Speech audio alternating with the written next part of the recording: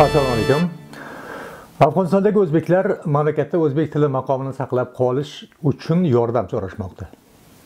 Jurnalistlarning bu murojaati xalqaro tashkilotlarga muammoga befarq bo'lmagan o'zbek jamoatchiligiga ham qaratilgan. Afg'onistonlik o'zbeklar bu borada o'zbekiston hukumati yordamiga ishonishmaydi. Toshkent afg'onistondagi o'zbeklar ularning tili madaniyati taqdirini ham toliblarga tan olinmagan hukumat ixtiyoriga topshirib qo'ygani aytilmoqda. Afg'onistonda kichikroq bir davlat deylik qo'shni turkmaniston aholisiga teng miqdordagi o'zbeklar yashaydi. O'zbekistondan keyin o'zbeklar eng ko'p yashaydigan mamlakat ham bu afg'oniston. O'zbek madaniyati tarixini yaratgan aksariyat allomalarning hazrat navoiydan boshlab qabrlari afg'onistonda ekanligi ajablanarli emas. Bugun ham afg'onistonda taxminan 6 milliondan oshiq o'zbeklar yashaydi. Ammo ular o'z ona tilida o'qishdan mahrum o'zbek tilli maktablar faoliyati to'xtagan o'qish malaka olish istagidagi yoshlar buni pushtun yoki fors tilida amalga oshirishga majbur. O'zbek tili o'qish o'rganish istiqbol tili emas. Afg'onistonlik o'zbek ziyolilari ona tili taqdirdan jiddiy xavotirda turishibdi. So'nggi yillar davomida bir qadar o'zini qaddini tiklagan maktablarga axborot vositalariga ko'cha boshlagan o'zbek tili yana qadr yana qadrsizlangan. Ona tilida o'qishdan mahrum yoshlar o'z istiqbolini pushtun yoki fors tilidan topishga majbur. Amerika ovozi afg'oniston o'zbeklaridan biri oyna telekanali jurnalisti ismoil sangar bilan mamlakatdagi o'zbek tili matbuotiga doir vaziyat haqida gaplashdi. Ismoil sangarning ta'kidlashicha tolibon hukumatga kelib o'zbek tili maktablaridan siqib chiqarilgan bir paytda. O'zbek tilidagi axborot vositalari faoliyati ham tugab borayotgani vaziyatni yanada achinarli qilmoqda.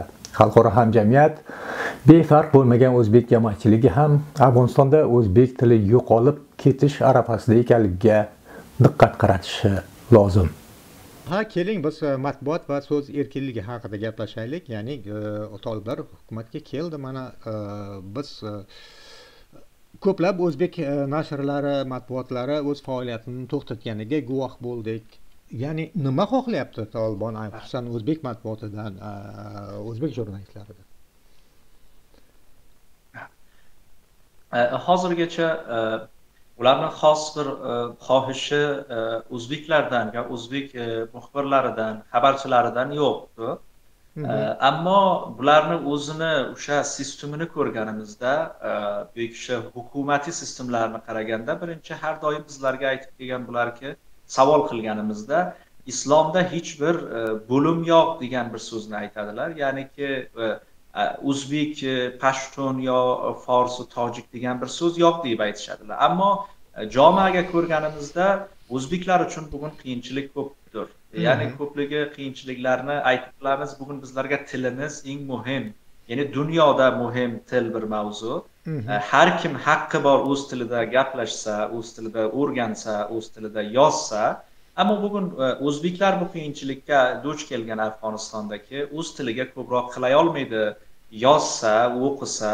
Masalan bittasini aytib o'tsak bugungi afg'onistonda e, maktablar e, oldingi hukumatga e, maktablarga o'zbek tili o'qilar edi o'zbek tili yozilar edi va o'zbek tili o'rganilardi o'qituvchilari bor edi o'quvchilari bor edi. Ammo hozirgi paytga shu noma'lum ya'ni hozirgacha hanuzgacha e, nima bo'lmagan bu to'g'riga e, tolibon hech bir narsa demagan shu o'zbeklar tili qanday bo'ladi o'qiladimi o'qilmaydimi maktablarda? Buning uchun biza xavotirdamiz tilimiz e, qanday bo'lar ekan gaplar ekanmi gaplashilmas ekan.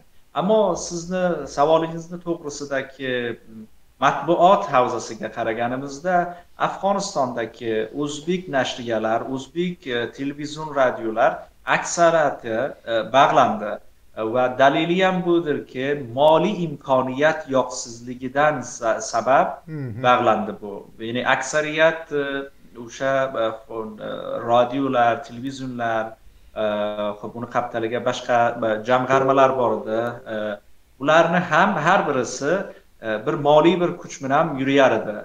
Ammo hozirgi sharoitga qaraganimizda o'sha moliy kuch yo'q sababligi ko'pinchasi ular to'xtalib qolgan. Bu na tanho o'zbeklar uchun balki butun e, afg'onistondagi xalqi va matbuoti bir bir katta qiyinchiligi boshqa televizorlar ham na tanho o'zbeklarniki boshqalarniki ham bog'landi. Hmm. ko'proq e, televizorlar hatto katta katta televizorlar bor edi bular bog'landi. Bu e, butun afg'onistonni qiyinchiligi. Ismoilbek siz yuqorida e, matbuot e, xususan o'zbek matbuoti va madaniyati tiliga doir e, vaziyatni gapirib o'tdingiz ya'ni mavhum qolayotganligi haqida. Biz bilamiz rasmiy toshkent bir necha bor tolibon unga o'zbek tilini o'qitishga maktablarga qaytarishga universitetlarda o'tishga va'da berganligi haqida gapirgan edi. Bir muncha avval albatta bu. Lekin siz mana hozirgi vaziyatni aytyapsiz bu mavhum deb. Umuman sizni nazaringizda bu yerda rasmiy toshkent haqiqatda o'zbek tili madaniyati xususan matbuoti bo'yicha biror bir o'zini pozitsiyasini bildirib o'tdimi? Xususan toliblarga nisbatan va umuman qanday baholaysiz rasmiy toshkentda masalan hozirgi paytda olib borayotgan siyosatini ya'ni o'zbekistonni aytasizda? Albatta albatta albatta